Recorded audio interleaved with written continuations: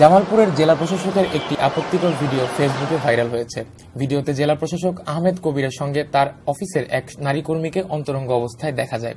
বৃহস্পতিবার রাতে খন্দকার সোহেল আহমেদ নামে একটি ফেসবুক আইডিতে ওই ভিডিও পোস্ট করা হয়। তবে শুক্রবার সকাল থেকে ওই আইডিতে আর সেই ভিডিওটি খুঁজে পাওয়া যায়নি। কিন্তু এর মধ্যেই ফেসবুক এবং মেসেঞ্জারে তা ভাইরাল হয়ে পড়ে।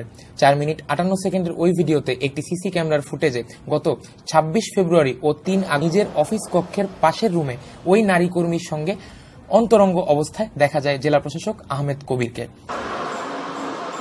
শুক্রবার দুপুরে এ বিষয়ে জেলা প্রশাসক আহমেদ কবির সার্কিট হাউসে সাংবাদিকদের বলেন, তিনি মানসিকভাবে খুবই বিপর্যস্ত। প্রকৃত ঘটনা জানতে বিষয়টি খতিয়ে দেখা হচ্ছে বলেও জানান তিনি। এটা এখন যেহেতু তদন্ত চলছে তদন্তের সাথে আসলে পুরোটা আমি লিগাল অ্যাকশনে না যাওয়ার তদন্তটা হোক স্যার তদন্তটা তাহলে কে করছে? অভিযোগটা যেহেতু আপনার বিরুদ্ধে এটা তদন্তটা কে করবে? তদন্ত তো আমরা ইন্টারনালি করে দেখছি আইন প্রয়োগকারী সংস্থা মানে আইন প্রয়োগকারী সংস্থা এটা ইয়ে করতেছে।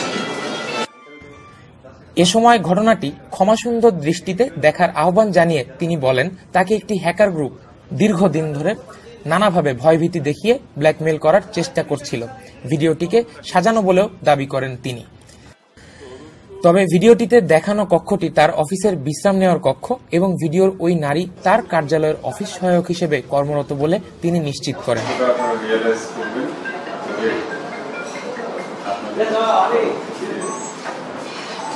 যেটুকু সহযোগিতা আমি সকল সময় পেয়েছি আমি তার আসলে ঘটনাটা বেদনা পার্সোনাল বেদনা বা সহযোগিতার কোনো বিষয় নেই আমরা সাংবাদিক হিসেবে আমরা যেটুকু পাবো সেটুকু আমরা করব। সেটা আপনার সহযোগিতা চাইলেও স্যার আমরা করতে পারব না। আর অসহযোগিতা করলেও স্যার আপনার কোনো যায় মানে এটা হলো জাস্ট একটা পার্সোনাল একটা ম্যাটার আর কি। এবং যে ভিডিওটা আমরা পাইছি এটা স্যার আপনার জেলা পরিষদের সিসিটিভি এখানে স্পষ্ট বোঝা যাচ্ছে এ বিষয়ে সংবাদ প্রকাশ না করার জন্য উপস্থিত সাংবাদিকদের অনুরোধও করেন তিনি।